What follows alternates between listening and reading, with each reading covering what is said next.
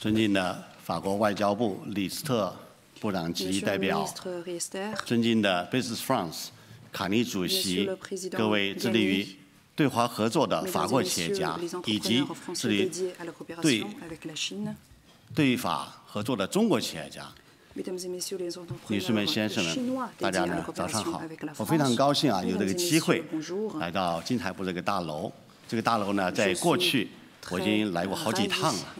实际上呢，我在过去的一年半当中呢，我已经来过法国五趟了。这也充分证明法国对于我们的重要性。所以呢，我首先呃，仅代表这个王洪涛部长，也代表我们中华人民共和国商务部，对致力于拓展两国经贸合作的 Business France。以及在座的各位企业家，无论是法国的还是中国企业家呢，这个表示问候。特别要感谢我们 Business France 推进两国企业合作所做的大量的工作，这个我们也非常。借着机会的感谢我们法国外交部这个李斯特布朗吉代表以及法国外交部这个法国经财部对于推动两国经贸合作所做的重要的工作。前面李斯特布朗吉代表谈到了，今年是中法建交六十周年。习近平主席呢，昨天已经抵达了巴黎，开始对这个法国的国事的访问。我们可以回首看一下，经过六十年的融合发展。和共筑呢，我们两国的经贸合作已经取得了丰硕的成果，成为我们两国关系应该说互利共赢、行稳致远的重要的压舱石和推进器。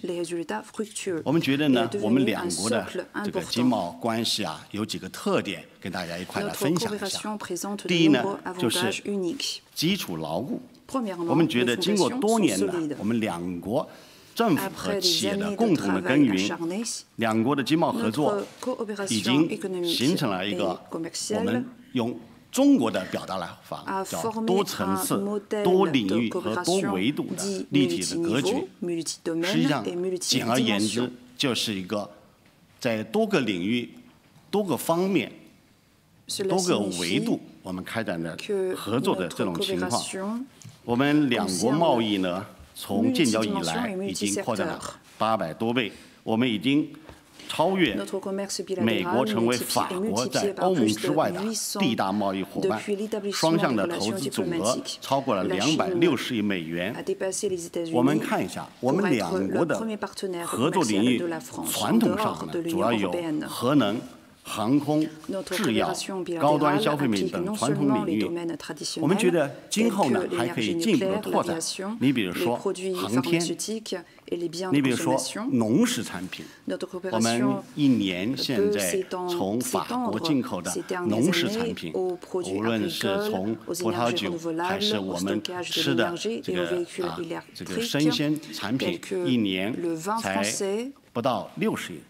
像这个，我们觉得呢，有很大的拓展的空间，是吧？我们在中国有很多的这个法餐啊，米其林餐厅，我们觉得还有很多的农食产品，我们也很喜欢法国的葡萄酒，还有这个其他各类的这个酒类的这种产品。可再生能源，法国，我们在前些年有这个巴黎协定，我们两国政府也在。这个向下开展很多工作，我们觉得在可再生能源也是，储能也是一个非常好，还包括电动汽车等新领域，我们觉得这为助推两国经济的发展、增进民生的福祉呢，可以做出积极的贡献，可为我们两国关系的稳定发展。提供重要的支撑，这是第一方面。第二方面呢，我们觉得互补性很强。我们两国的经贸合作应该说是相互匹配的，优势互补。这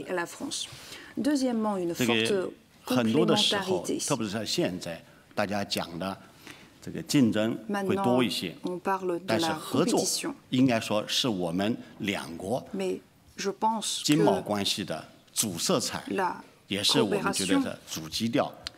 我们在制造业、电子产品、机械设备、基础设施建设方面呢，应该说中国具有一定的竞争优势。那么法国在航天、航空、核能、高端的消费品、农食产品等方面一直具有很强的竞争力。二零二三年的时候呢，我们自法国进口增长百分之五点五，这个是个什么概念？是我们在整个的进口几乎是在下降的情况下，我们自法国的进口是增长百分之五点五。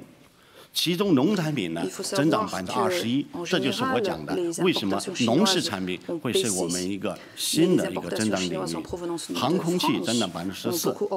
那么面对全球经济形势的新的形势和新的挑战呢，我们觉得我们两国应该共同的深化经贸关系，建立更高效的产业链和供应链的合作，形成一个更加稳定、有韧性的产业链和供应链，为我们。世界经济的复苏呢，增强信心和稳定预期。第三个方面呢，我们觉得前景很广阔。当前呢，中国正在加快构建新发展格局。着力推动高质量发展，积极培育发展新质生产力。这个顺便这个简单说一下，我们中国讲的新质生产力，主要是以创新为核心的这个生产力的这个发展。这也是创新，也是我们法国企业的一个重要的特点。我们觉得这方面也很有推动扩大中国国内需求。目前呢，中国政府正在推动大规模的设备更新。我相信呢，这会为法国企业参与中国的大规模的这个工业设备的更新呢，提供广阔的机会。中国政府呢，也应积极的促进消费品的消费品的以旧换新。我们主要是有几类，一是。汽车，我们对于新购买汽车的，无论是传统的内燃机的 ICE 汽车，还是电动汽车，不论是外国的还是中国的，一律提供补贴。这和一些国家只为本国品牌提供补贴的做法是不一样的。我们还对家用电器以旧更新啊提供。这个政策支持，我们也积极的扩大这个厨房卫生设备，还有呢就是其他的啊，比如电箱、呃电冰箱。还有空调等等的家用电器的更新，我们正在推进这项工作，这都是我们商务部目前正在努力推进的。我们相信呢，这有力的将推动投资和消费。中国庞大的市场规模优势和强大的购买力呢，我们相信一定会为。的 Made in France 的产品和服务提供更多的机遇。那么法国呢，已经接受中方的邀请，成为2024年服务贸易会，也就是在北京这个召开的 CEFTIS，以及和第七届的进步会 CIIE，成为这两个中国最重要的展会这个的主宾国。我们希望在座的法国企业家，也包括我们在座的中国企业家呢，积极的参与这些重要的展会，继续的拓展中国市场。我们这个中国商务部呢，现在正在每通过每个月举行的外资企业圆桌会、外资工作专班以及投诉服务中心。对于在座的各位企业家，尤其是中小的法国企业家，提供各种各样的优质的服务。大家如果在开拓中国市场遇到什么困难、遇到什么问题，可以向我们商务部外资专班，也可以向我们投诉。这个中心也可以向我所在的商务部欧洲司，呃，你们可以通过你们驻华使馆，也可以直接的向我们反映，我们将提供我们力所能及的服务。实际上，在过去的一两个月当中，我们一直在和法国外交部。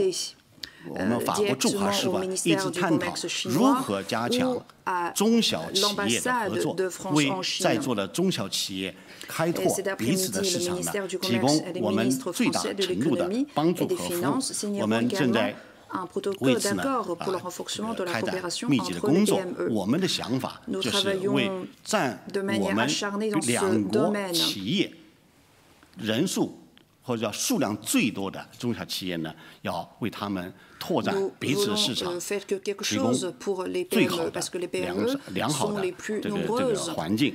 这个女士们、先生们，法国呢是欧盟。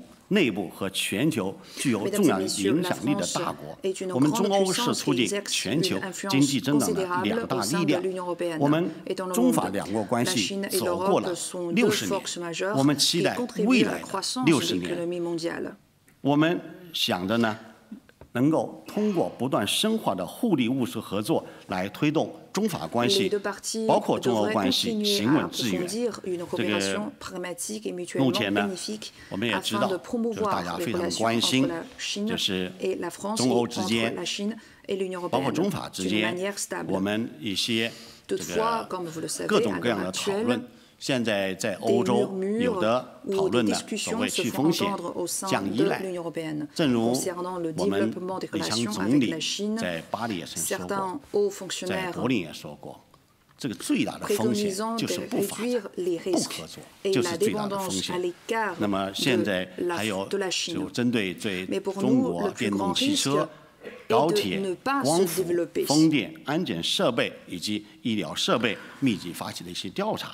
我们也看到了这些这个负面的一些消息和信号，应该说中欧业界有些担心，特别是中国企业担心。我们呢也期待和以法国政府啊这个为首的欧盟成员国的政府，我们当然和欧盟的一些机构，我们希望通过对话和磋商来妥善的解决这些。